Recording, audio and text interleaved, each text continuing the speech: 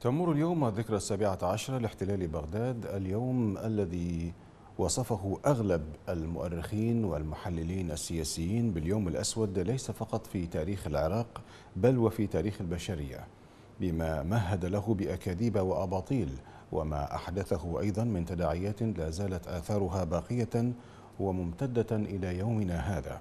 لمناقشة تداعيات الاحتلال الأمريكي لبغداد ينضم إلينا عبر الهاتف من إسطنبول مساعد الأمين العام في هيئة علماء المسلمين للشؤون العامة الدكتور يحيى الطائي مرحبا بك دكتور يحيى الطائي حياكم الله أخي. سبعة أو سبع عشرة سنة مرت منذ احتلال العراق منذ عام 2003 ماذا قدم الاحتلال الأمريكي للعراق بعد أن كان يبشره بالديمقراطية وإزالة الديكتاتورية السلام عليكم ورحمة الله. وعليكم السلام. قدم الاحتلال الأمريكي خلال الثلاثة خلال السبعة عشر عاما المنصرمة أمور كثيرة. الأمر الأول أكثر من مليون ونصف شهيد أكثر من أربع ملايين ونصف يتيم أكثر من ألف مليونين أرملة دمار اقتصادي سرقة تاريخ وماضي وحاضر العراق دمار شامل تمزيق النسيج الاجتماعي للبلد تقسيم العراق على أسس طائفية وعرقية إحداث صراعات بين مكونات المجتمع العراقي وكان الهدف أن يتخلخل هذا النسيج الاجتماعي لولا صمود العراقيين وثباتهم كل هذا الدمار الذي حصل في العراق لا ماء لا كهرباء لا خدمات لا أمن لا أمان لا استقرار. كل هذا يعني جزء يسير مما جاء به الاحتلال منذ 17 عاما. اليوم يعاني العراق من أزمة سياسية حقيقية في ظل خلاف السياسيين خلاف الكتل السياسية على رئيس وزراء جديد للحكومة. كيف تصف المشهد السياسي في العراق الآن؟ أخي الكريم المشهد السياسي في العراق نحن قلنا منذ عام 2003 العراق بهذه التركيبة السكانية وبهذا التنوع المعروف فيه لا يمكن أن ينجح فيه إلا المشروع الوطني بمعنى أن الأساس فيه للمواطنة نظام المحاصصة العرقية والطائفية الذي جاء به الاحتلال منذ عام 2003 إلى الآن. كل ما هناك هي عملية تدوير لهذه النفايات مرة بعد أخرى. أي نظام سياسي يأتي؟ لن يأتي بشيء جديد. لماذا؟ لأن قواعد اللعبة السياسية اللي في العراق المبنية على المحاصصة الطائفية والعرقية تحصر الولاء للطائفة وللعرق على حساب المصلحة العامة للوطن. فبالتالي كل الصراعات الآن اللي موجودة هي صراعات حول مكاسب للأحزاب صراعات حول مكاسب لمن يمسك بزمام وتلابيب هذا الحكم وهي الطبقة التي جاء بها الاحتلال منذ عام 2003 إلى الآن. تراهم يتداورون فيما بينهم المكاسب والامتيازات مرة له وزارة هذه ومرة له تلك الوزارة. ليس هناك أي بارقة أمل بوجود هكذا نظام سياسي لخروج العراقيين من المحنة؟ فبالتالي هي ليست مشكلة من يأتي لرئاسة الوزراء. أيا كان يأتي لرئاسة الوزراء سوف لن يستطيع أن يأتي بشيء جديد لأن قواعد اللعبة السياسية الموجودة تجعله يعني مجبرا أن ينحاز إلى طائفته وإلى حزبه حتى يبقى في مكانه وتبقى مافيات الفساد. هي المسيطرة على المشهد السياسي في العراق. سمة العملية السياسية هي المحاصصة الطائفية وأيضا يعني عمد الاحتلال بعد غزوه للعراق على تفكيك الجيش العراقي وحل مؤسسات الدولة.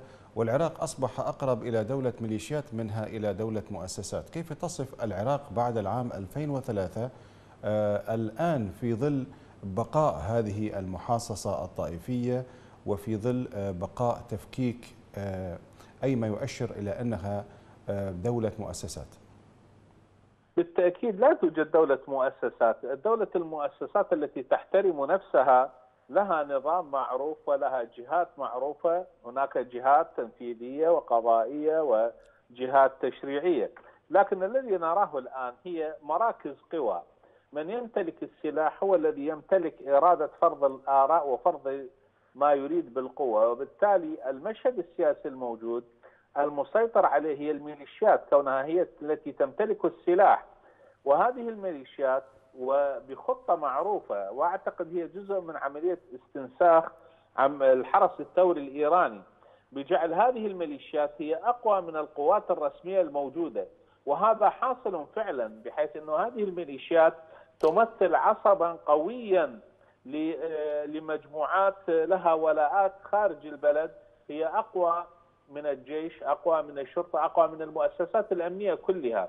فبالتالي هذا الصراع الآن الموجود هو يعطي صورة واضحة بأن من يفرض إرادته هو الذي يملك السلاح، الذي يملك القوة وليس من يملك القرار الوطني أو من يملك المشروع الوطني الذي ينجو بالعراق.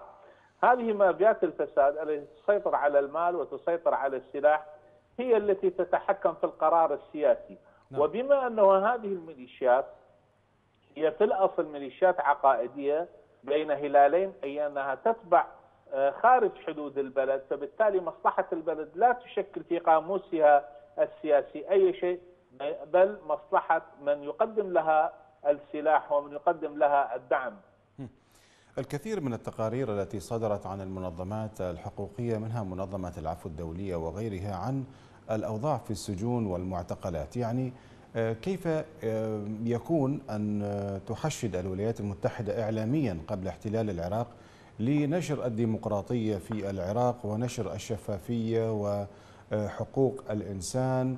آه، في حين أننا لا نرى أي شيء بني في العراق الآن. سوى السجون والمعتقلات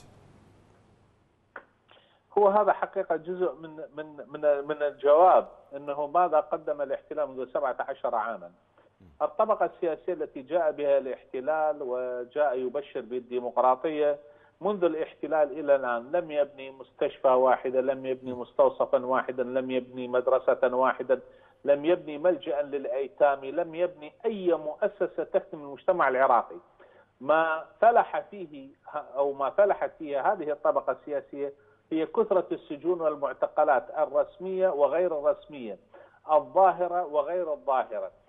وهذه يعني إحدى المؤشرات الآن عدد المعتقلين آه، ما تذكره وزارة الداخلية هو لا يشمل هذه الأرقام لا تشمل من يقبعون في سجون الميليشيات وفي سجون باقي الأحزاب وغيرها.